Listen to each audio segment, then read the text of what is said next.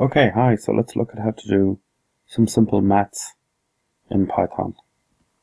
So we'll open our command line again, just in case we need it, and we'll open idle. And as before, we'll resize the screen, just to make it easier to see.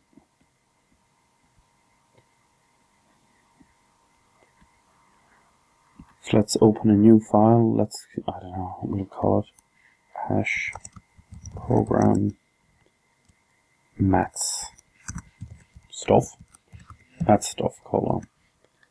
And we'll just do simple maths first. Let's say um, adding two numbers together, so let's print out 10 plus 7. And we'll do our end and we'll save this as that stuff.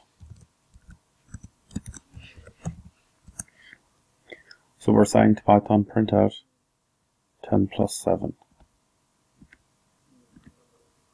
So prints out 17, 10 plus 7 is absolutely 17. Perfect.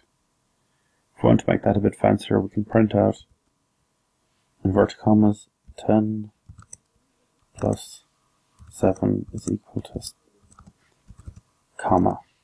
So if we do 10 plus 7 equals all inverted commas, and then comma 10 plus 7, it will print out 10 plus 7 is equal to 17. Perfect. Nice. So that's your basic adding. If we want to do subtraction, it's the minus sign. So what's 10 minus 7? Save it and. And 10 minus 7 is 3. Let's do multiplication. 10 star 7 multiplied is represented by the star sign. And run that. And we see 10 multiplied by 7 is 70. Now let's do division. So if we use a slash, and divide 10 into 7 and run that. 10 into 7 is 1.428571, etc. We'll note about the division, and division in Python is like division in a lot of programming languages. It gives you a few different options on how to do your division. So, for example, um, if if we look at this example in particular, we're dividing numbers 10 and 7. The operands or values 10 and 7 are whole numbers or integers, but our result is a real number.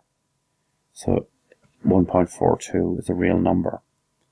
So as well as what we call regular division, Python does allow us to do what's called integer division, which means do the division but just return the integer part of the division. So tell me how many times 7 goes into 10 which is just give me the whole number answer. And that's slash slash. So if we run that, 7 goes into 10 once. That's what it tells us. It goes into it goes into 10 once. And some remainder. The remainder is 3 in this case. So we, we might call that the integer division. And then if we want to do division remainder, we use the percentage symbol to represent that. And if we do 10 percentage 7, it says what remainder occurs when we divide 7 into 10. We know what it is. Let's see it. 10 division remainder 7 gives us 3. That is to say 3 is left over when we've divided 7 into 10. So that's your basic maths in Python. We can do addition, subtraction and multiplication as normal. We can do normal division, integer division, and division remainder as well. Thanks very much.